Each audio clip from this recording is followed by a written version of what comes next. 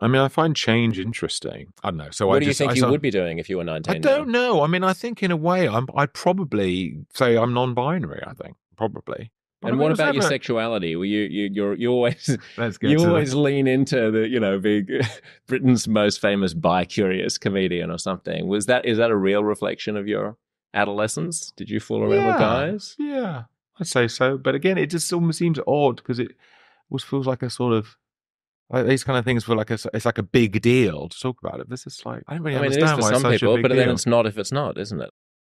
Breaking right now, axed Britain's Got Talent judge and Little Britain creator David Walliams has suggested, I think ludicrously, that he might be non binary after he faced a difficult question about his portrayal of trans characters in the past. This is from a brand new interview in Australia. Watch this.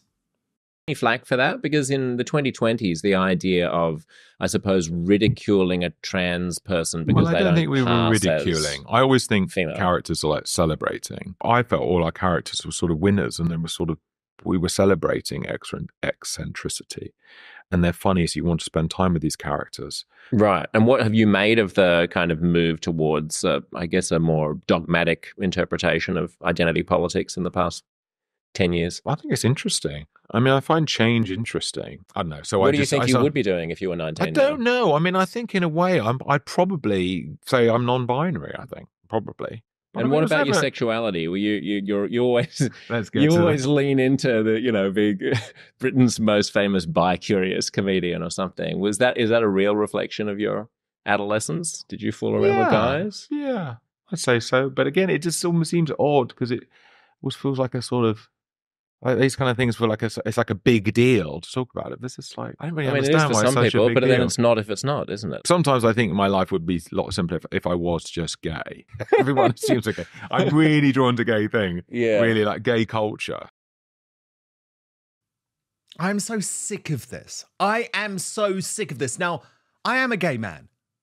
You won't hear me talk about it all the time because it is a tiny part of my personality. But I am sick of people bastardizing what it means to be a gay man and then start saying that actually, oh, I'm probably non binary. No, just say you're gay if you're gay, David Walliams, or say you fooled around with some guys. No one cares. But stop trying to erase gender from society. You are a man. You've already been, you've always been a man. Maybe you're a bit of a camp man. Maybe you dress up. That's fine. Maybe you've slept with guys. I don't care. But to claim that you're non binary, to seemingly try and deflect from criticism that you used to play trans characters, has really annoyed me. Let me bring in Lee Cohen now, who is joining me stateside, of course, a columnist for The Sun, The Spectator, The Daily Telegraph, and many other platforms. And Lee, can you understand my annoyance of this? I actually have never had a problem with David Walliams. But this to me feels like a Sam Smith moment. It feels like a moment where he is trying to put his career first by claiming that he's non binary. We saw this with Demi Lovato too. And it infuriates me because it's erasing women from society. Well, Dan, to me, it's it's a bit tragic because here we have yet another. Uh, well, he's not a Hollywood personality, being uh, a Brit, but here we have another, you know, globally famous celebrity uh, who's trying to curry favor and virtue signal, and uh, you know, taking away a lot of what I appreciate about him. I think this guy is tremendous. I found him, you know, hilariously funny. Uh, I've adored him. I've adored Little Britain, and this just gets in the way and sends a lot of interference. I totally agree. I totally agree because it's like he is so worried about the woke mob coming for him over the previous Little Britain sketches that he feels that the way to deflect from that is say, oh, well, I must be non binary. Because then, Lee, the thing is, if you're non binary, then you're not a man or a woman and no one can attack you for being either of those things. Do you see what I mean? I feel like it's strategic and it's cynical, but you have to think about the consequences of these decisions. Because when Sam Smith went down this path and started saying, oh, well, I can't enter any categories at the Brit Awards because I'm not a man or a woman, the Brit Awards got rid of the female categories. So, firstly, I find it offensive as a gay man, but secondly, I find it offensive as someone that cares about women's rights. Well, um, I couldn't agree with you more. And but it, it, also seems, Dan, on on our side of the pond, uh, I'm sure it will be news to no one that we've just had an historic election uh, with Donald Trump's election, where uh, Hollywood, for all of its virtue signaling and for all of its piling on into these kinds of discussions, uh, you know, has been totally repudiated. Uh, they, they spent millions of dollars, billions of dollars trying to elect Kamala Harris with all kinds of celebrity uh, virtue signaling, uh, all kinds of celebrity homage to uh, Kamala Harris. And it went nowhere because, you know what, this doesn't hold sway with the American people the way it used to. So I wonder if David is a bit out of touch in all of this. Well, exactly, exactly. I mean, look, part of me feels sorry for him because everyone has been after this guy, Lee, for such a long time. He was sacked effectively from Britain's Got Talent after a completely unfair stitch up by the Guardian newspaper that was leaked a secret recording of him speaking privately to his fellow judges, Simon Cowell, Amanda mm. Holden, and Alesha Dixon. Mm. And he was quite sexual in the things that he was saying. But Lee, I stood up for David Walliams over that because he was talking about a, a, a woman sexually, which again makes me think, mm, are you really non binary? Are you really gay? But anyway, that's another story. But I thought mm. this is a private conversation. He was having a private conversation, yes, in a workplace setting, but it's a bit like going to the staff room and you're chatting with your mates. That's very different than if you're out on the counter at McDonald's serving staff members and having those conversations. So I feel like he's been subjected to a witch hunt by the woke mob who want to bring him down because they want to destroy lots of people. You saw what they did to me last year. So I stood up for him over this. But I feel like using the whole non binary thing as some sort of deflection is really wrong. As you say, why not just say, no, no, no, I was having a laugh playing a female character all of these years ago. I don't think there's anything wrong with it. The world is changing. Okay, so maybe my comedy has changed, but don't try and cancel me for something that took place over a decade ago. Mm, mm, mm. I know uh, you're you're precisely right, Dan. And you know you're a man of principle, so you know you you stood up for him at the time, and that was the right thing to do. And unfortunately, he's let you down on an, on another principle. Yeah, you're completely right. You're completely right because the thing is, is that I I feel I, look. I worry these days that people sometimes use sexuality to make political points. And that shouldn't be the case. Your sexuality is yours, and that's completely fine. But don't use it to make a political point. No, I, I, think that's precisely right. And we live in these times where, you know, it, it, it, was a better time when no one discussed what went on in their bedroom because no one should care. It shouldn't affect uh, anything that you do professionally or otherwise. And, you know, now it's so fashionable to, to once again, to jump on the bandwagon of virtue signaling to be something that's, you know, not sort of standard. And, um, you know, of course, there was a time in Hollywood where it was damaging to be gay. And that's not certainly not the case anymore. We've gone the other way. The pendulum has swung well to the other direction.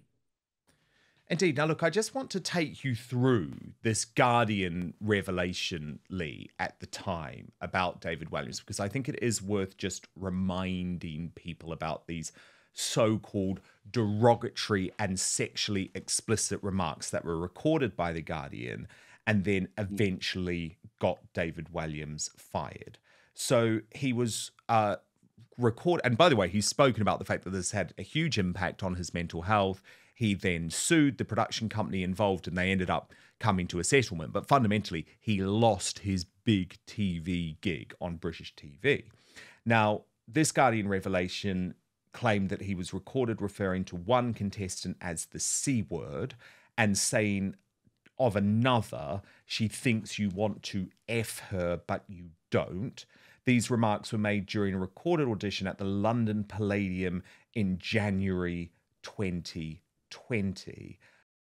But if you want to look sharp for all those festive gatherings and maybe finally win that Best Groomed at the Family Dinner Award, check out the latest masterpiece from Manscaped, the Chairman Pro Electric Foil Shaver. Now, trust me, I used it yesterday. It's like Rudolph for your face, guiding you to a smooth, irritation free shave.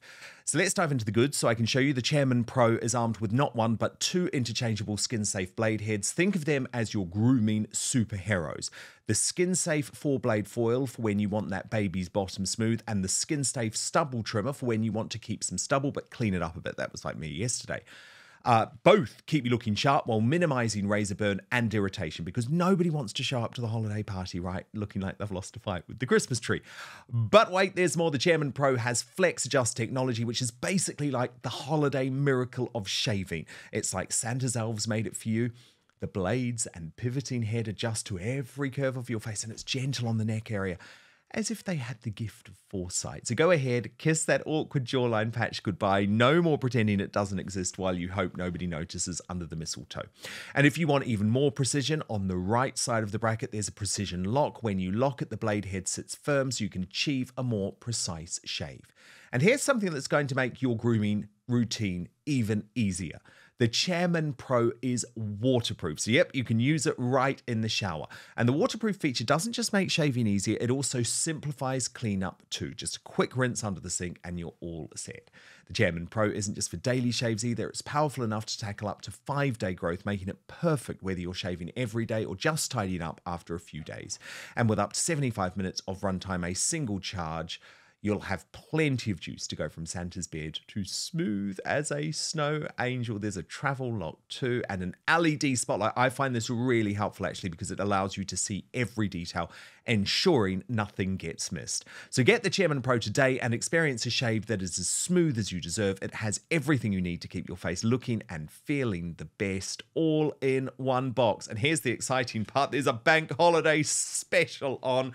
So head over to manscaped.com and join the over 11 million men worldwide who trust Manscaped by using the code outspoken for free shipping and 25% off this week to mark Black Friday, exciting times. That's manscaped.com using the coupon code outspoken.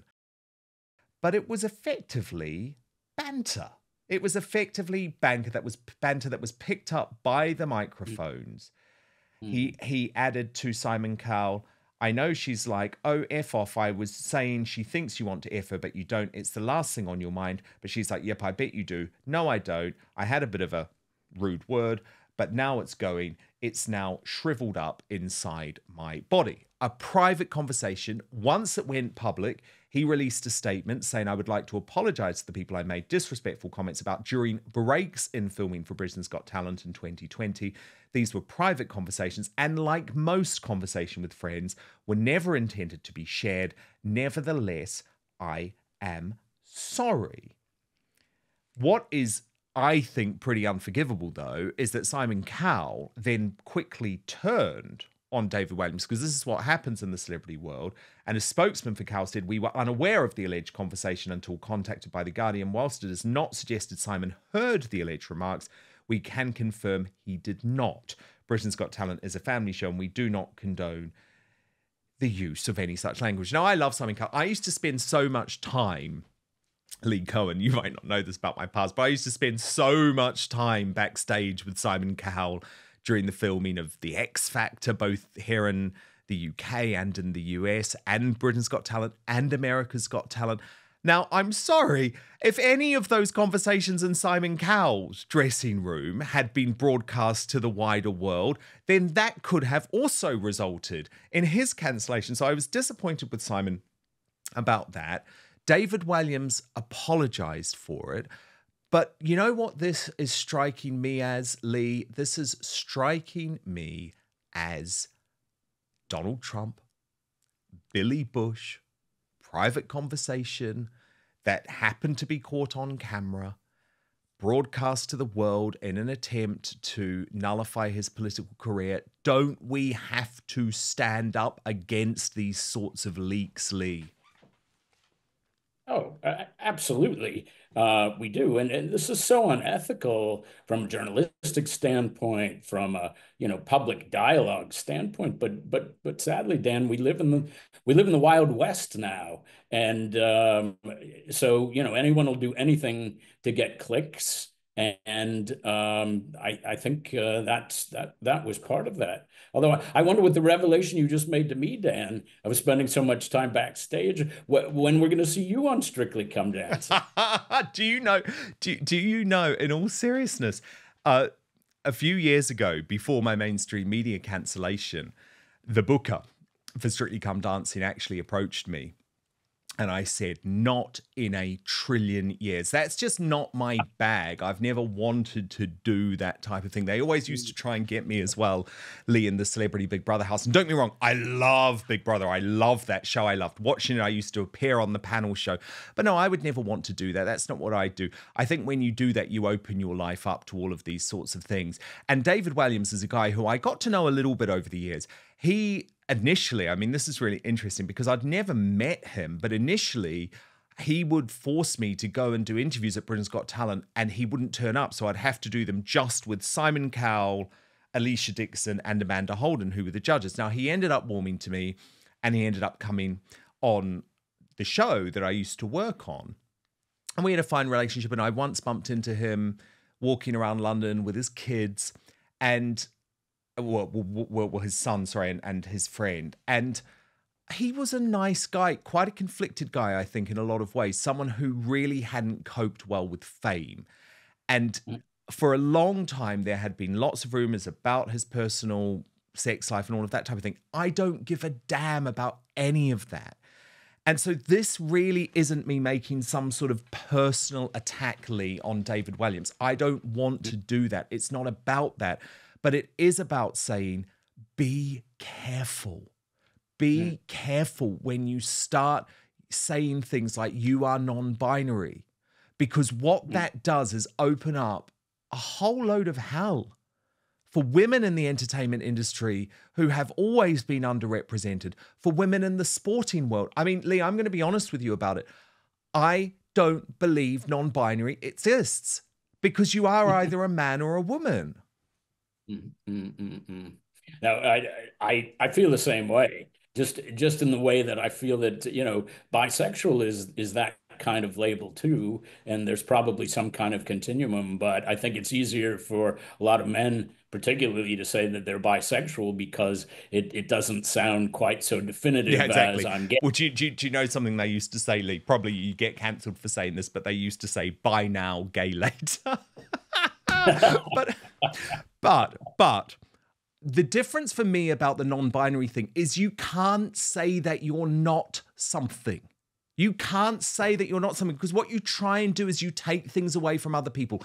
And a lot of this is attention seeking too. I think with Walliams, this is about deflection, but with a lot of people, it's about attention seeking. Demi Lovato, for a while, went through this whole phase of, oh, I'm non binary. You have to call me they, them. If not, you're going to be cancelled. And all of a sudden, she's she, her again and she seems to be dating guys again. So so look, there's a lot of attention seeking going on. I would not have an issue with it if it's just about who you're sleeping with. I don't care. But what I do care about is when people use it to try and change society for the worse. And I think David Walliams was very clearly jumping on a bandwagon quite quickly to deflect from the fact that he had criticism for playing a trans character in the past just go away. Boy George always used to dress up as a woman as well. Boy George is a gay man. You can be a gay man that puts on women's clothes. That's absolutely fine. Don't try and change the world because of your own proclivities. Certainly don't try and change scientific reality because of your proclivities. And I wouldn't talk about this if I didn't believe it was damaging. But I think what David Walliams is doing is going down a very damaging path. If you're confused about your sexuality, just say it. But to try and claim all of these years on that you're non binary, I think is ludicrous. I think it is completely ludicrously. But do you want the final word on that? Well, I was going to ask you, you, you. You said, you know, uh, you can be a gay man and dress up in women's clothing. You can be a straight man and dress up in women's clothing. I, I can think of someone from your neck of the woods, not New Zealand, but Australia, who made a, a lifelong career and a very successful one. The beloved late Dame Edna, who was used as a spokesman for major corporations in Australia, was beloved. And he never had a problem with any of this. Why do you think that is, Dan? Well, guess what? Dame Edna was anti woke as well. Barry Humphries didn't believe in the whole trans debate. So no, very, very good comparison. If only David Walliams had the balls. The sad thing is, is I think David Walliams is probably very anti-woke himself. Look at his comedy. There was nothing woke about Little Britain, but the problem is if you want the money, you want the big bucks, you have to sell out, you have to buy into this ludicrousness. So, bad news on that front, David Walliams. Don't go down that path. Doesn't mean I don't think you're a decent guy in some ways and that you weren't sold out over the Britain's Got Talent stuff. Thank you so much for watching Dan Wootton Outspoken. Please click on my face just to the bottom left to subscribe to this brand new independent news source and turn on the notification bell so you'll be alerted to our brand new live shows, uncancelled interviews, and special royal episodes.